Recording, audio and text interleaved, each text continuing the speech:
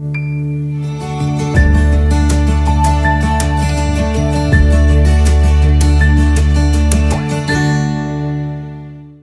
Apostle Paul writes, Should we keep on sinning so that God can show us more and more of His wonderful grace? Of course not. Since we have died to sin, how can we continue to live in it? Or have you forgotten that we were joined with Christ Jesus in baptism? We joined Him in His death.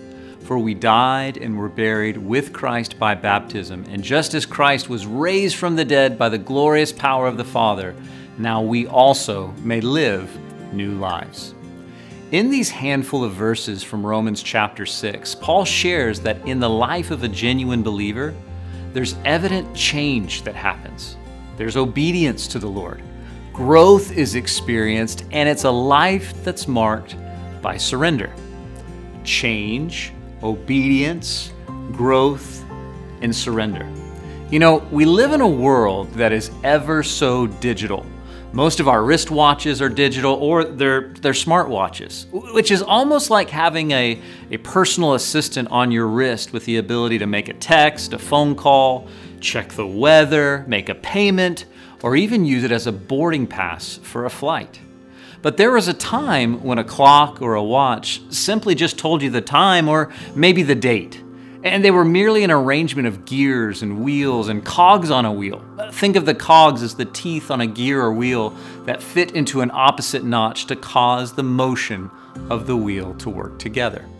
Well, there are certain dynamics in the life of a believer that work together like cogs of a wheel on a clock change, obedience, growth, surrender.